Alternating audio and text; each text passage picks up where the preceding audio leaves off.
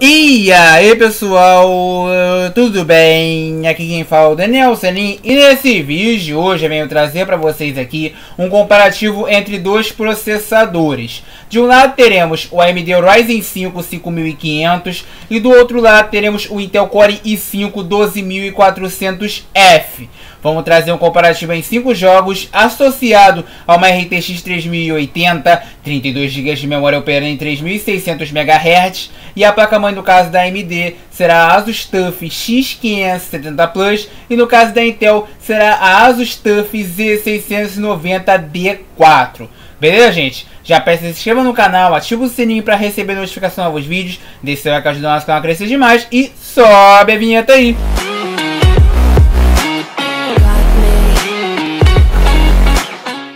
Bom, gente, voltamos aqui. O primeiro jogo da bateria de teste será o Good of War.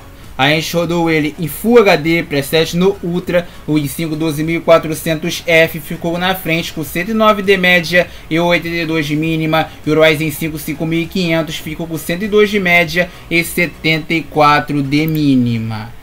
Chegamos aqui agora ao Days Gone. A enxodou ele 1080p, preset no muito alto, o i5 12400F ficou com 180 de média e 134 de mínima, e o Ryzen 5 5500 ficou com 157 de média e 119 de mínima. Chegamos agora no Forza Horizon 5. A gente rodou em Full HD, preset no Ultra, o i5 12400F ficou com 151 de média e 107 de mínima, e o Ryzen 5 5500 ficou com 129 de média e 91 de mínima.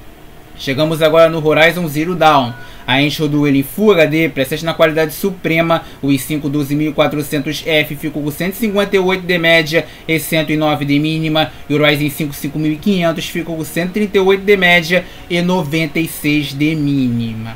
Chegamos agora no Battlefield 2042. A gente rodou ele em Full HD, preset no Ultra, o i5 12400F ficou com 239 de média e 186 de mínima, e o Ryzen 5 5500 ficou com 212 de média e 159 de mínima. Chegamos agora ao quadro geral, o quadro que soma todas as médias divide por 5, que foram 5 jogos testados. A gente viu ganhando do comparativo foi o i5 12400F com 167,4 de média. Em segundo lugar ficou a AMD Ryzen 5 5500 com 147,6 de média.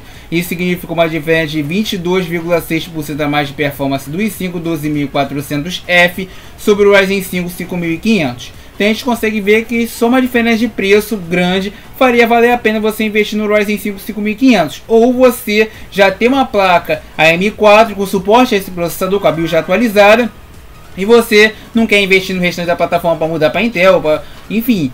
Aí nesse caso, comprar seu Ryzen 5 5500 para combinar aí, né, gente? Então essa seria basicamente a opção. Em questão de performance, a gente vê que o i5 12400F é mais poderoso.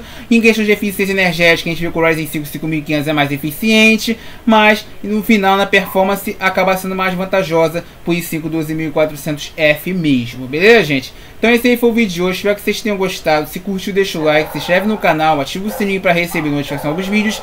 Até a próxima e fui!